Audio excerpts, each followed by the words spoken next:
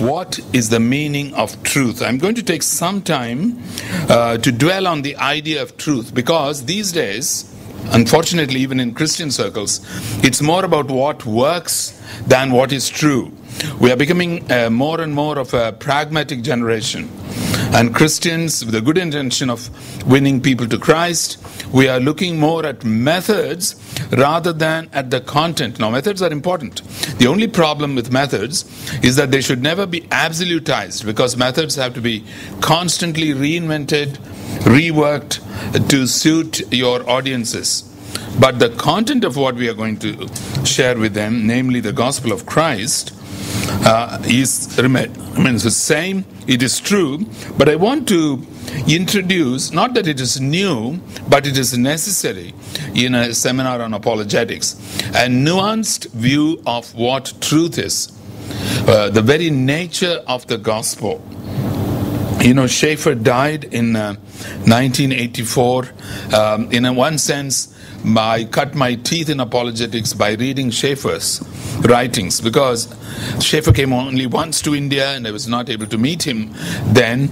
But uh, his ministry in the earliest years in L'Abri in Switzerland was among young people uh, who were part of the hippie movement. They came from Western homes, some of them Christian homes. They came east uh, to look for exotic uh, Eastern philosophies. Some of them blew their minds on meditation, on drugs, and they were trundling back to their homes when they ran into the Schaeffers. And many of them found Christ.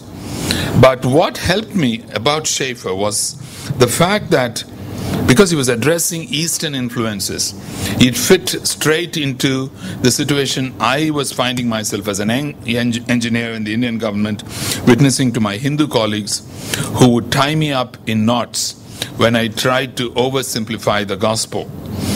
And, um, and th- that's where I uh, began my study of apologetics. And I came much later to read about a, memorial service for Schaeffer held in 1984 when a girl from Cambridge University made this statement I always knew that Christianity was true, but it is only after I met, came to know Dr. Schaeffer that I realized how true it was. It uh, sounds like a tautology. It's, it's like saying a husband is a married man. Uh, seems to be stating a self evident truth.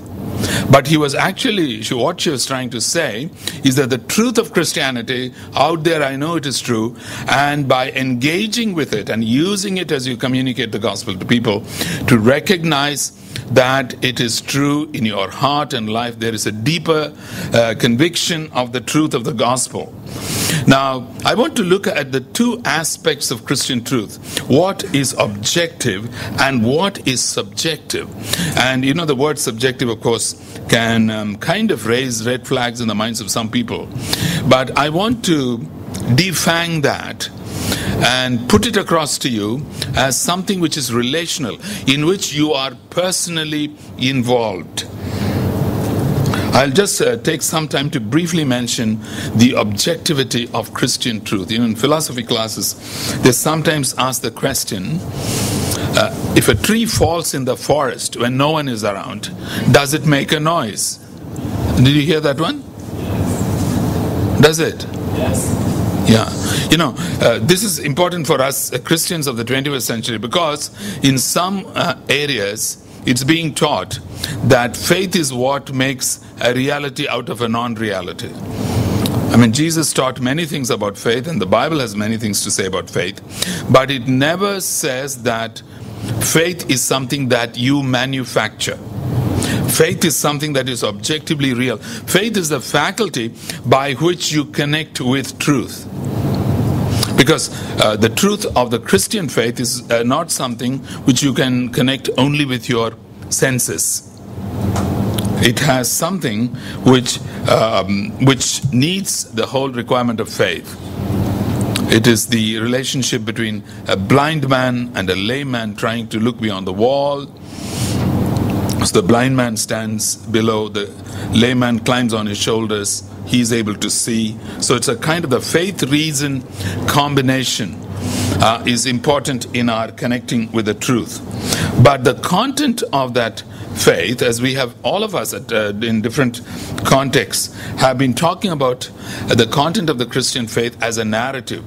I want you to take that with you. It is a story. And it is a story which is embedded in his history. What Stuart said this morning, uh, quoting from Lewis, about myth, which became historic fact. And it's very interesting if you analyze uh, Christian history, uh, the mythology of the Bible, say with the mythology of the Greeks or the Indians. You read Indian epics where you see Maharajas floating around in flying carpets and so on, and then they become the motto of the of Air India or something like that. you you do have a kind of a mythology there. But you see, the miracles of the Bible, they touch upon a very interesting, purposeful, well directed uh, action of the supernatural. It's not a pointless, random display of divine power. And as you connect with it, I want to uh, refer you to two verses. One is to uh, the first letter of Paul to the Corinthians, chapter 15 you know, I started reading my King James Bible. I was born in an Anglican family. I started reading the King James Bible from, I should not tell you my age, should I? Uh, 1949. I don't know how old I was. But you know why I started reading the Bible? Because somebody said that if you read the King James Version, your English would improve. And that was definitely true.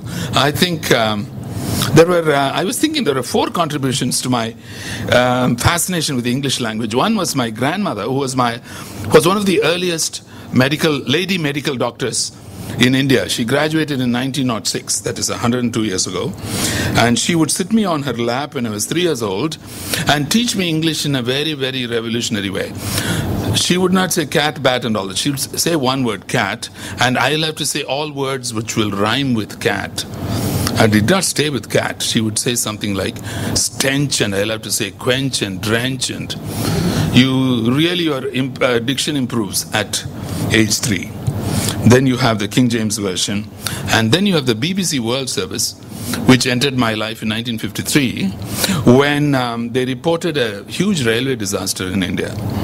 And then the Time magazine, 1960s. So that's my journey. Now, you know something of my story. Now, in King James Version, 1 Corinthians 15 is supposed to be a masterpiece of English literature. So, if you have your old King James Bible, please go back to them.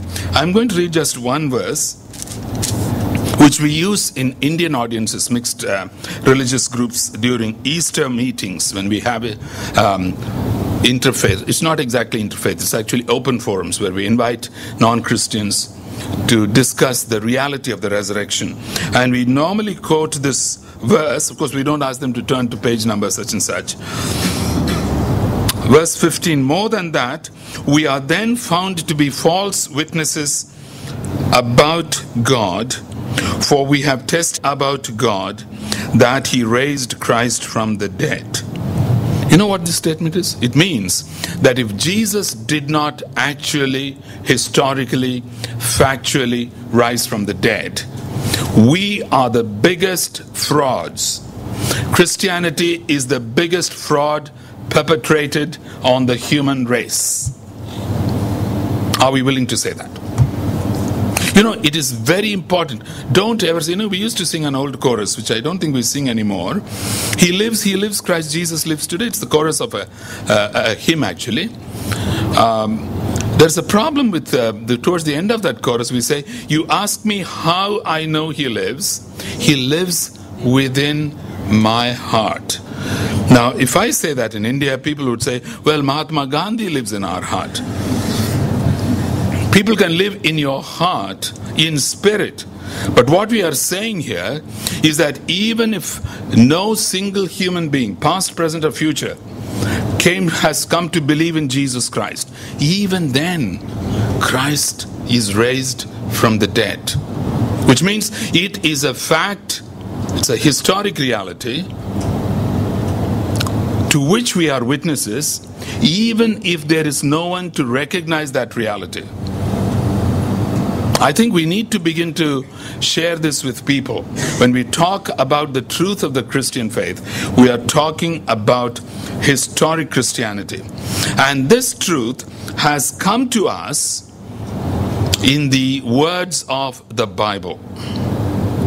You know, when we were young students, um, Christians, I accepted Christ as an undergraduate final year engineering student, 1962. And as I told you in the morning, many of our pastors really did not believe in the supernatural. And we had liberal uh, Christians, young people, who would ask us a kind of a naughty kind of a question.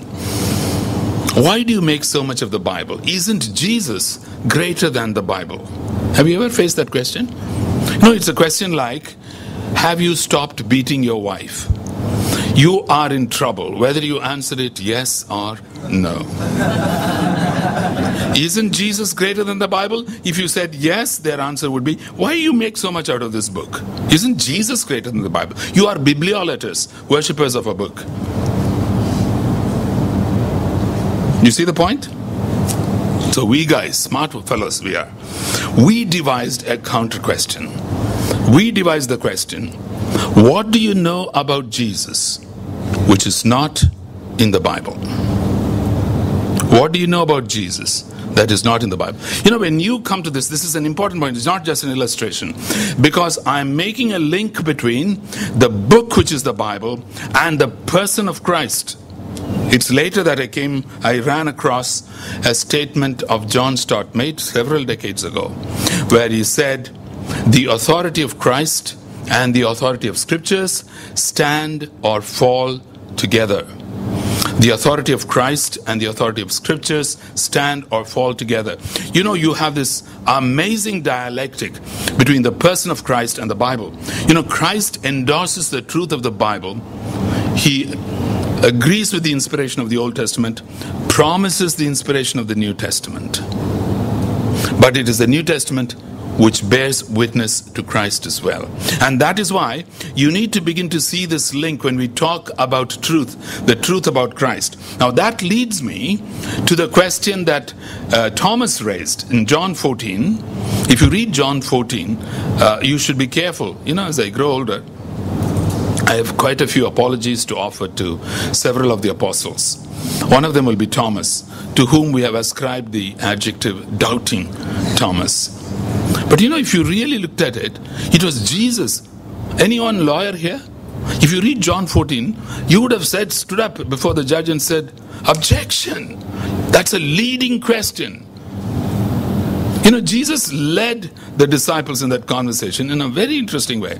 He told the disciples, You know the place where I'm going, and you know the way.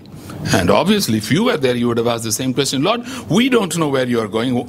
How can we know the way? And then Jesus makes this statement I am the way, the truth, and the life. Now, I want you to read this a bit differently. We normally use that uh, to support our claim that Jesus is the only way, emphasizing the definite article the, which I do not know whether is the best way to uh, read it. Please remember that Jesus did not speak in Greek, he was probably speaking in Aramaic. And John is writing it in Greek. Now, I'm not an expert in these languages, although I know a fair bit of Greek. But what Jesus was probably telling him, you take the way, the truth and the life are two adjectives, not two nouns. Qualifying the way. I am the true or, or real and living way. I am the true and the living way. No one comes to the Father except by me. In other words, Jesus is saying, the place that I'm going to is not a destination, and the way is not a road. The place is the Father, a person, and the way is me, a person. Just begin to imagine. Now, we are now beginning to see how the proposition of Scripture is also connected to the person of Jesus Christ. When we are talking about the truth, therefore, we are not talking about something conceptual. We are talking about something which is relational, which is personal. And that is where the subjective dimension of truth comes in. Our oldest granddaughter is now six years old, tough girl. Flew all by herself from Singapore to uh, Dhaka last year by Singapore Airlines. She captained a soccer team where boys were playing under her captaincy, and she won a medal. Well, that's all history. Now, this girl taught me some theology. That's what I'm coming to. When she was two years old, we were spending Christmas in Bangladesh with them. She would come and play with us, jump on our bed, and all that. But when we returned to Singapore, we tried speaking to her over the phone. Now, our daughter tells us that she would smile, but she would not speak. So I told my wife, when she grows up, she would know how to speak. And then the Lord seemed to tell me, yes, you grown ups, you know only how to speak on the telephone. But this little girl, who probably resembles me more than you guys do, knows only how to speak to people in front of her. You guys only speak to people who are not in front of you. Email, text, iPod. You all connect in this ethereal way with the unreal world and not in a face to face way with the real world. You know, I want you to recognize that the relational aspect of truth is never in the Bible divorced from the propositional truth. In our eagerness to defend the truth of the Bible, never ever omit the relational. There are several verses, one of which I heard from Stuart in August 1981, I think. So these things stick in my head. Uh, not 81, 91. You joined us, nine, no, not 91, 98. Yeah, that's the mix up. Okay, now turn to John 7, verse 17. Do you know what I'm going to refer to, Stuart? You will when I say it. Uh, John 7 17. I want you to unpack this. Now, Jesus is challenging the Jews on how to test whether his words are true and from God. And look at how he puts it. If anyone chooses to do God's will, he will find out whether my teaching comes from God or whether I speak on my own. What Jesus is saying is that for me to truly understand the veracity of my message, you should make an a priori commitment to me. Now, this is interesting. I don't know. I was not in Suin's uh, class, but this decision making and the will of God is an interesting topic. It's always fascinated me. But many, most of the books I read during my younger Christian life almost made it appear that God was hiding his will and we are to seek it. It's a kind of a hide and seek where a divine human partnership is involved. Is that what it is? I have come to believe that there's nothing of the sort. The problem with us not finding the will of God is because we have not committed ourselves to doing that will uh, before it. We are telling God, You show me your will, and then I will decide whether to do it or not. You will never find the will of God that way. You know, there is an a priori commitment. And the verse that Stuart brought to our remembrance in that meeting was from John 5. John 5, verses 39 and 40. He's telling the Jews, You diligently study the scriptures. You search the scriptures. It's not an imperative, it's not a commandment. Search the scriptures. It is an indicative statement. You do study the scriptures because you think that by them you possess eternal life. These are the scriptures that testify about me. Yet you refuse to come to me to have life. Do you see what it introduces? This, uh, these two verses introduce to you the tragic possibility that you can come to a book and not come to a person. It tells you that you can come to a book and not come to the person of Christ. You see, I want you to notice all apologetics. You see, when I first started on apologetics, it was highly rationalistic for me because I'm by basic training uh, an engineer, mathematics, physics, chemistry, my favorite subjects three of the most hated subjects among Christian young people. You know, when I ask Christian young people what do you study, management, finance, blah, blah, blah, blah, nobody goes into pure sciences. You know, John Lennox and I are going to now make a whirlwind tour, getting you guys to do some basic pure sciences. Great, wonderful. Gives you great insight into who God is. The downside of it was that you became very analytical and you were not integrative in your approach to truth. What Jesus does in this verse is to state that you need to integrate the objective reliance on the Bible with your subjective relationship with God. That is what is going to bring you life. That's exactly what Christianity is all about. And you will notice that this statement, I'll mention that, uh, probably I'll come back to this. But I want to say that the reason why, therefore, even discipleship making, your leadership that you produce, uh, that you provide for young people, what we heard from Suin yesterday, Making disciples is not transfer of information. It is not finishing a curriculum. It's not reading a book. It is imbibing a character. Go and make disciples will always remain go and make disciples. I remember when uh, we really got into mass media, radio, and all that, we had a, an American guy who was. Um, into radio broadcasting. Those days, TV was not it there in India. And he said, transmit. But later, many years later, I began to think, can, will we have to rewrite the Bible and say, transmit and make disciples? Can you ever do that? I think the go and make disciples will still remain the same. Because it's a transference of character, just like our character is being transformed and all of us can look back onto some people who walked with us early in our Christian lives. And what we are today is because of them.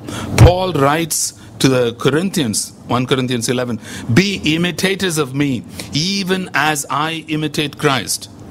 We normally tend to say, Don't look at me, look at Christ. There is no such option. That is because of the very nature of truth. Because if I come to know Christ, through this relationship, I cannot communicate it to others purely by sound bites. Your character, what you are, has to communicate to you.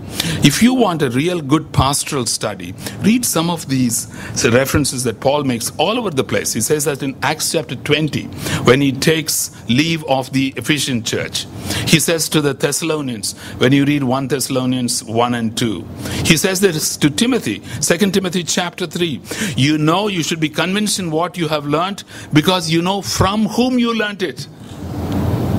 Not what you have learned, but from whom you learned it. So the person becomes as important to the communication of truth. Paul says to the uh, Thessalonians, You know what kind of people we were in your midst.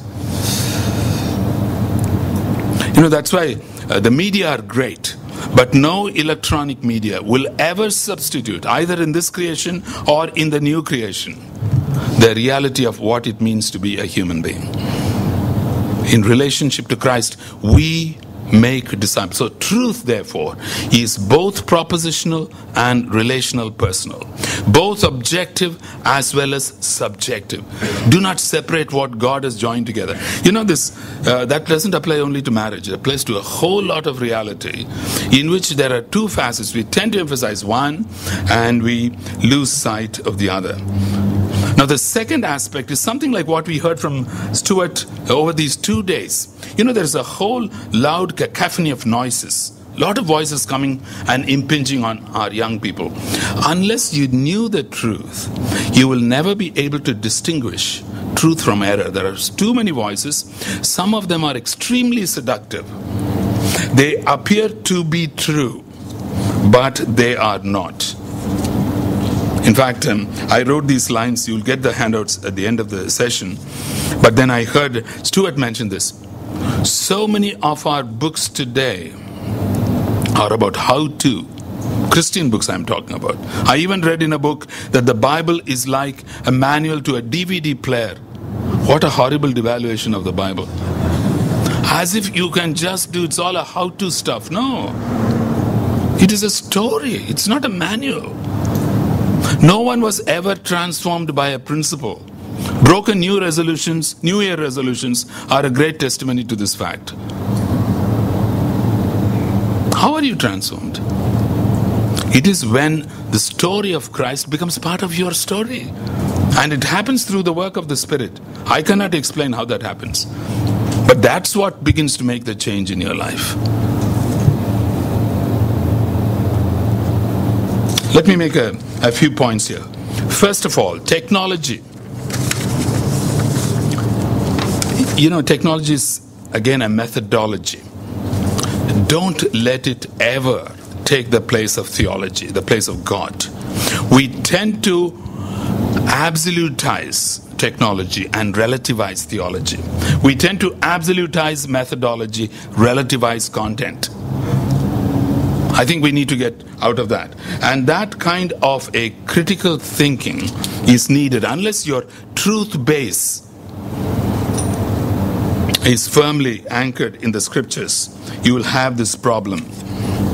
And I want to say, all of us, um, young uh, youth pastors, you want to develop, please remember that uh, in our world, whole emphasis on quantity. I'm not against quantity. The Bible speaks a lot about churches, thousands of people getting saved. But what we need to take from the scriptures is the fact that if quantity becomes your ultimate motive, you will first start with a leakage of quality, and ultimately your quantity will go as well. But if you build with quality, you will have quality first, and quantity will automatically be added. And I think there are many things that I would like to uh, say here. But what is important is to notice that quality comes first. And quality, when it comes to Christian truth, is essentially interpersonal. Today, I think our churches are full of programs.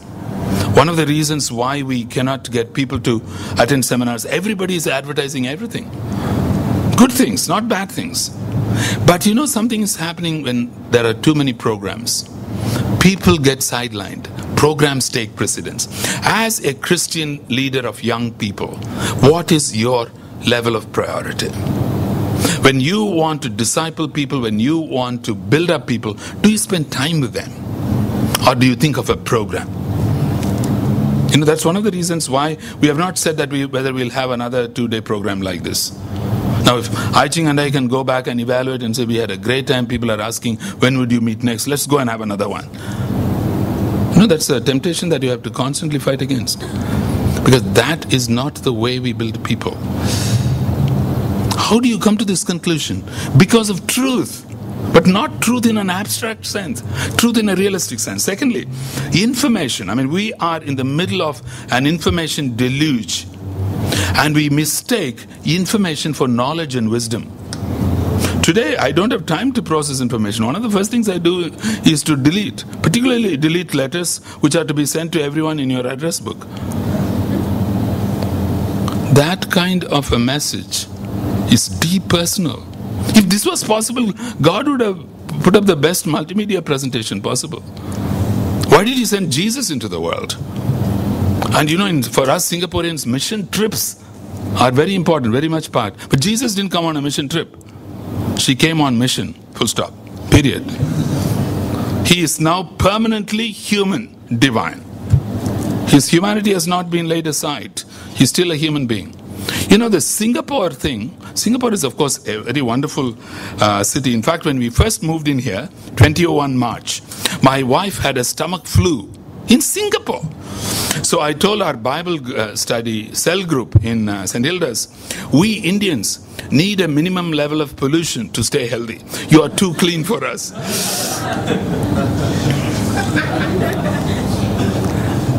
you know, you go 10 days to Cambodia and come back to the cleanliness, the sterility, the purity of Singapore. Jesus didn't have any such exit route when he came to be with us. I think we need to begin to see that our uh, talking about IT is because, in a sense, it reduces the reality of the gospel to pure information. Whereas gospel is incarnational, it becomes flesh. Uh, was it last year? No, year before last, I was in. Um, India. I uh, visit India twice a year. I was in one of our engineering college campuses. and uh, I was going to be speaking at a Christian uh, meeting of uh, students uh, when the leader of this group was a girl, came in tears because she had uh, seen on one of the class desks a very enthusiastic Christian student had carved Jesus loves you. You know, great way of preaching the gospel. Whether it's right to carve on uh, school desks is another question. I'm not going into that. But you know, another student I don't think he wanted to spite Jesus, but he wanted to play the fool a bit, I think. So he had carved something very blasphemous below that. And this girl saw it naturally, she was upset. So when they came to my when they came to the meeting, I said, why not we discuss this issue? Now you see, the word Jesus loves you remained word. When it was insulted, it could not respond to it.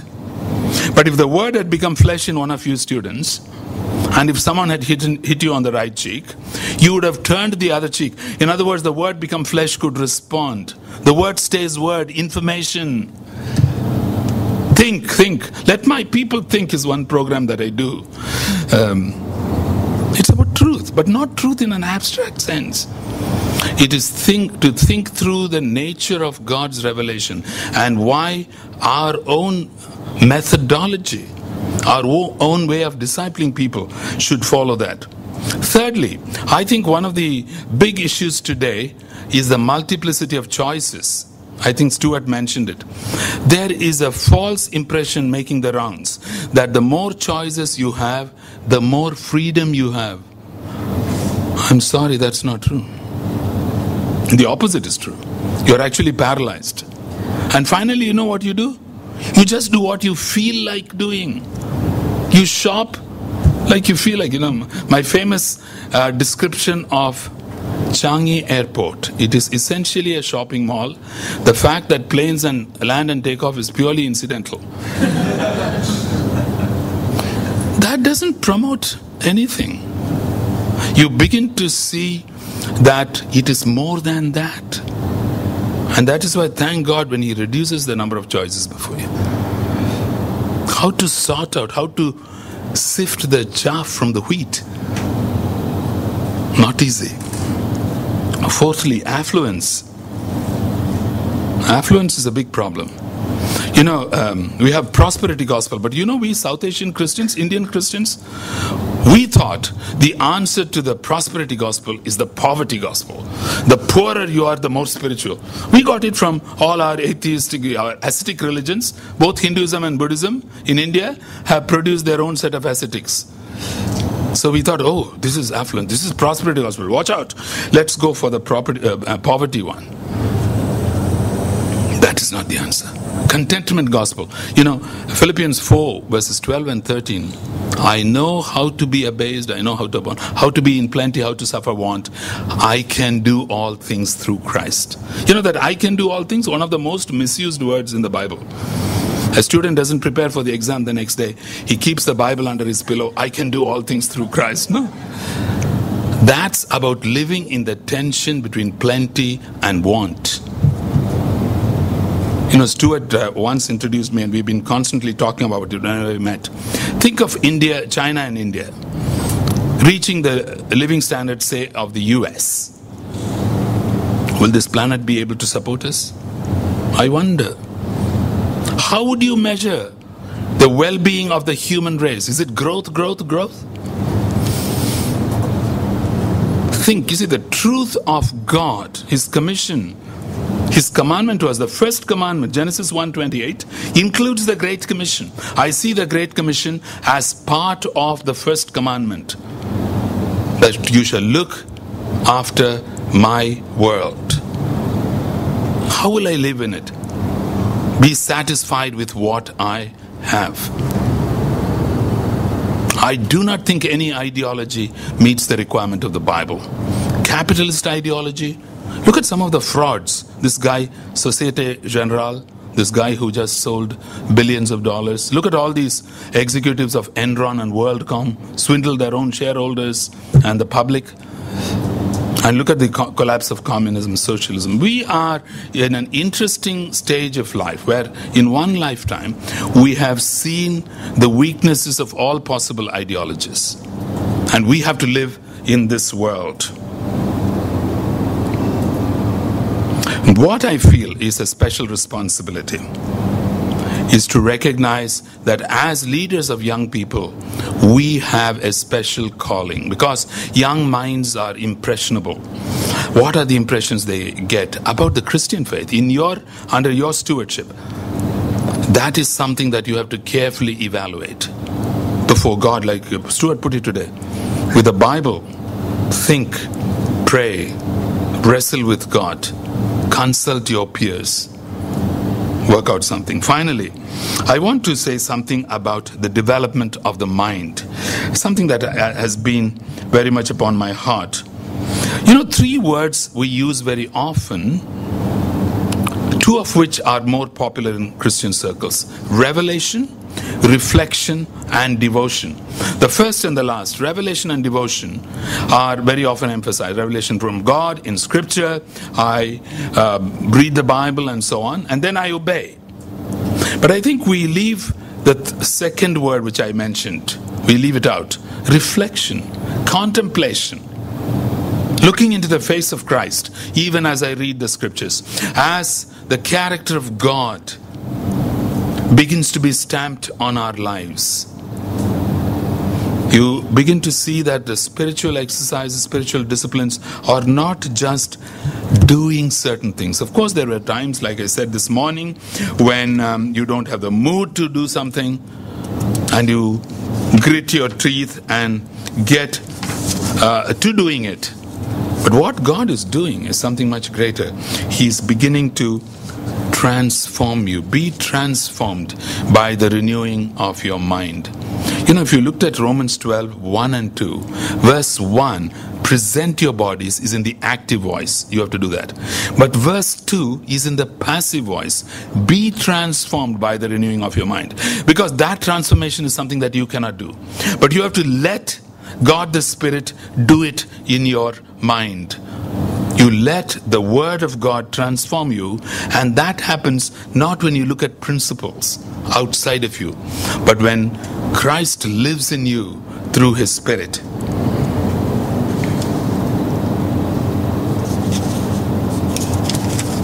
Just a few final thoughts.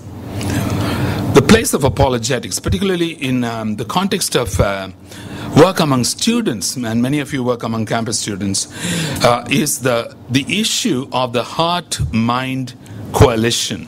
You know, Josh McDowell, I think, made this statement the heart cannot delight in what the mind rejects as false. The heart cannot delight in what the mind rejects as false. When you go out of a program like this, you are taking away with you the fact that this is really true. Like this girl said at Schaeffer's memorial service, I always knew that Christianity was true, but it's only now that I realize how true it was. I can really begin to delight, my heart begins to delight in what the mind affirms as true. And therefore, you notice that alongside the personal, the emotional relationship with God, there is this amazing enjoyment of God's truth, objectively, mentally, and to be able to share that with that conviction. Secondly, the truth of God is never counterintuitive. It is never against your intuition in its right place. Intuition is not the best judge, and intuitions are fallen. So I will not appeal to it as a final um, arbiter. But I'll give you an example. This was in one of our open forums.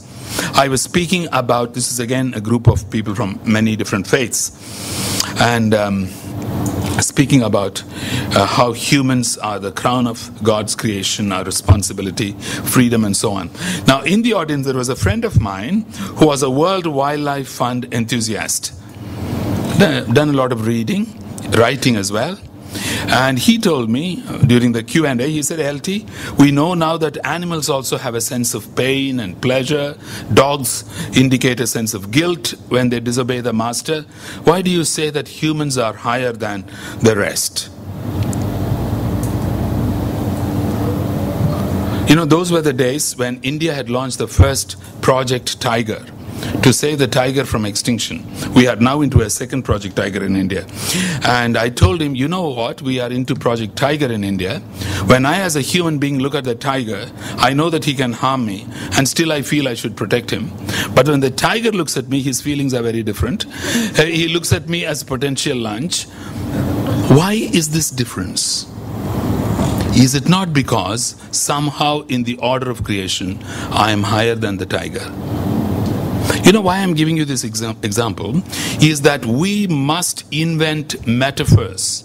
We have to think of examples, illustrations, which appeal to the right aspect of human intuition. See, when God made us in His image, He made us instinctively capable of recognizing His truth.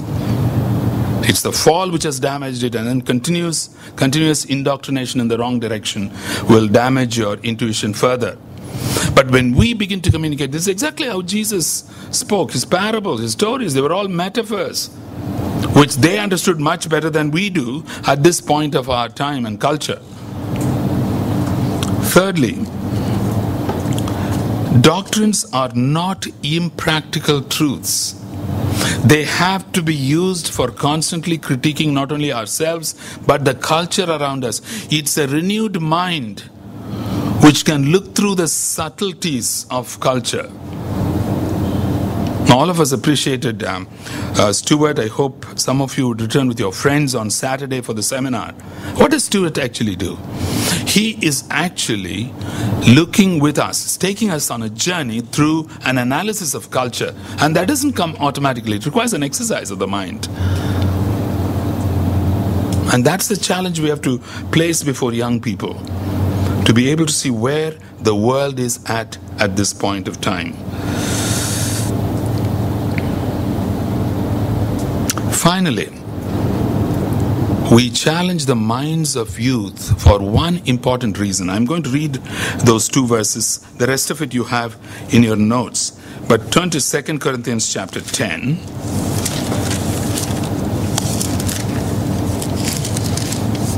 Verses 4 and 5. The weapons we fight with are not weapons of this world. On the contrary, they have divine power to demolish strongholds. We demolish arguments and every pretension that sets itself up against the knowledge of God, and we take captive every thought to make it obedient to Christ. You know, Paul speaks about something called a mental stronghold. I want you to read this passage. Think about it when you go home. You, I, I have tended to read it in two ways. One is a simple apologetic. You are demolishing wrong arguments and you are helping people, enabling them showing them the way, empowering Christian young people to bring their thoughts, make it obedient to Christ. But when he invokes the divine power of the weapons, namely the Spirit of God and the Word of God, he is also referring to a, some kind of a supernatural stronghold. Something which Satan has built up. It can even happen to us Christians because when you become a Christian from any background, you bring with you a certain baggage, a certain stronghold, certain way of thinking. And that has to be chipped away at. You need to work on it. Otherwise, it will constantly be guiding your thinking in a particular direction which is not biblical. And Paul is saying that's what we need. We need to begin to reflect on the truth of God, the Word and the Spirit. Some years ago, Stott uh, wrote this book, The Word, the Church, and the Spirit. Beautiful. How God, the Holy Spirit, takes His Word, works it through the community of God's people in achieving a certain change in the mindset of God's people. You know, uh, a person who, a medical doctor who's now in, um, in his 80s, lives outside of Brisbane in Australia. He was um, an outstanding surgeon, but he spent half his life in India and um, in Nepal. He was director of the United Mission to Nepal. Dr. Frank Garlick told us young people once we have accepted Christ in our hearts and secularism in our heads. What he meant was the mental strongholds, that your set of values, is something that you have taken from the outside world. Some of these things I've said, there are overlaps. I hope you begin to see this.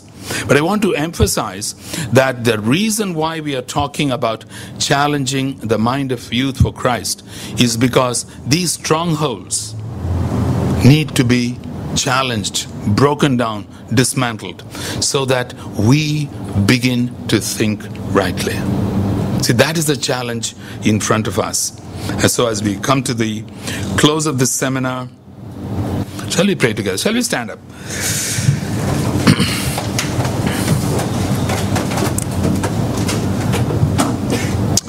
Father, Son, and Spirit, eternal triune God, we thank you for these two days.